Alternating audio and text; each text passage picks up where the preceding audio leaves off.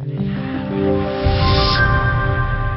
La maestría interinstitucional en derechos humanos que ofrece la Universidad Autónoma de Tamaulipas tiene como objetivo contribuir a profesionalización de recursos humanos en las competencias necesarias para que desde una perspectiva de derechos humanos diseñen, ejecuten y evalúen actividades de defensa, promoción, protección y garantía de derechos humanos destinados a la construcción de una cultura plural y democrática. Lo anterior lo dio a conocer el rector de la UAT, José Andrés Suárez Fernández, quien agregó que podrán inscribirse las personas que tengan licenciatura en cualquier área de conocimiento, lean textos en un segundo idioma acreditado por la universidad, finalmente que tengan habilidades de las nuevas tecnologías de la información y comunicación. Vamos a atender las demandas de formación de personal especializado en derechos humanos en el noreste del país, particularmente.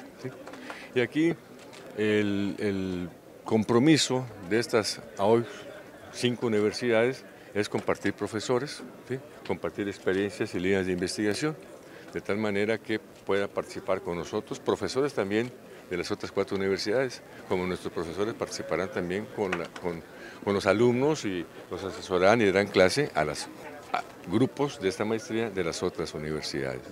Este proyecto, dijo, tiene tiempo de estar esperando el momento para dar este tipo de conocimientos. Va muy aplicado al profesionista en activo con mando en alguna dependencia donde se pueda aplicar empezando el próximo año. Aquí en Tamaulipas particularmente la vamos a estar llevando en una modalidad también a distancia para poder atender la demanda que hay de, este, de esta área en todo el resto del estado. ¿Dónde va a ser la sede?